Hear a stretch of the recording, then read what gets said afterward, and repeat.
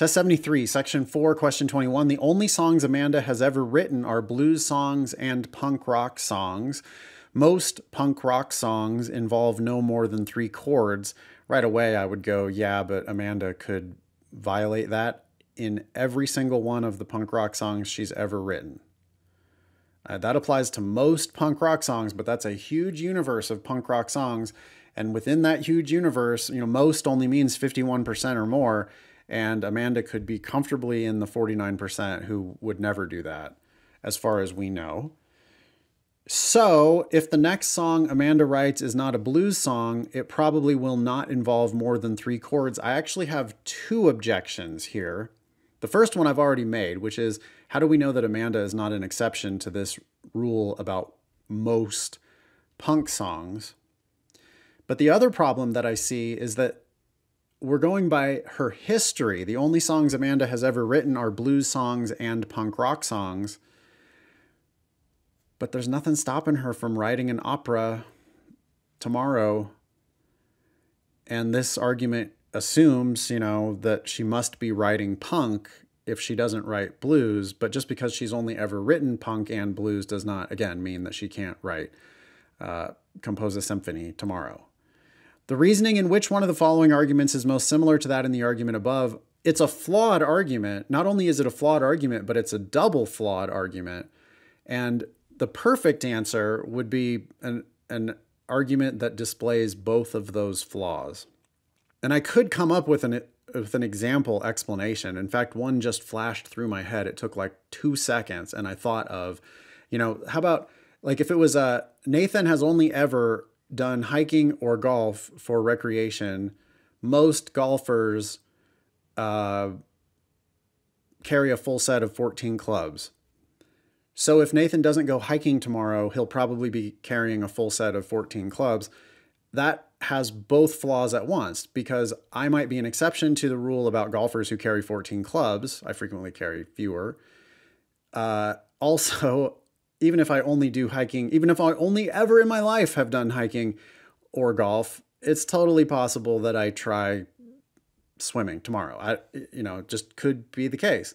Okay, so, and that, it takes 30 seconds for me to explain it, but it actually just was a moment, you know, fully formed in my head. I saw that example. So now I've got the given argument, which I know has two problems. I've got a sample argument that displays those same two problems. Heading into the answers, I have a real good idea what I'm looking for. A, the only pets the Gupta family has ever owned are fish and parrots. That sounds pretty good so far. Most parrots are very noisy. That also sounds pretty good so far. In order for A to be correct, it just needs to say, so if the Gupta family doesn't get a fish, they're probably going to get something noisy.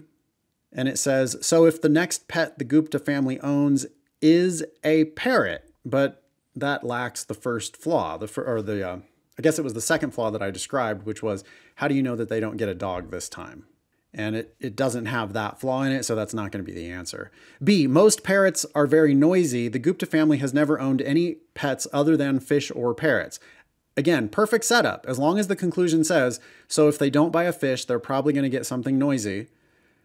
And it says, so if the Gupta family has ever owned a noisy pet, which is looking backward instead of the next song Amanda writes or the next leisure activity that I do, it should be the next pet the Gupta family gets.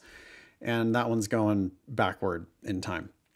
C, all the pets the Gupta family has ever owned have been fish and parrots. Good so far. Most parrots are very noisy. Good so far. So any pet the Gupta family ever owns that is not a fish will probably be very noisy. Closer. The problem is that it's about all their future pets instead of just the next one. We were talking about the next song Amanda writes. I was talking about the next leisure activity I do. C's talking about all of their future pets. D, every pet the Gupta family has ever owned has been a fish or parrot. Most parrots are very noisy. Perfect. So if the next pet the Gupta family owns is not a parrot, no, but I want it to say if it's not a fish. So that's wrong. E, the Gupta family has never owned any pets other than fish and parrots. Most parrots are very noisy. Perfect so far.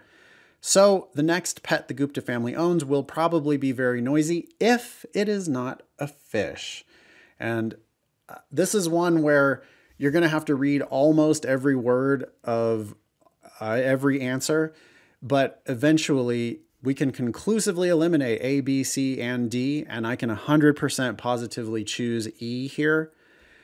Uh, parallel reasoning questions, they are time consuming, but many people eventually realize that they love parallel reasoning questions because they're able to conclusively solve them. I mean, it's just like, hey, I know that the argument that was given had two flaws. I can predict the rest of the correct answer. Like when I read the first two sentences, which by the way, the first two sentences are the same in A, B, C, and D, and E. The evidence is the same all the way down.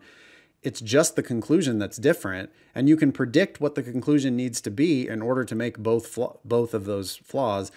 E's the only one that does it. So that's the answer.